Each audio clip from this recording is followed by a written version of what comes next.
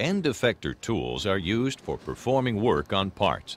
There are a multitude of tools used in conjunction with industrial robots, with the primary types including welding guns, paint spray nozzles, and various machining tools. Welding guns mounted on the wrist of a robot offer numerous advantages over manually held welding guns or welding with fixed automation.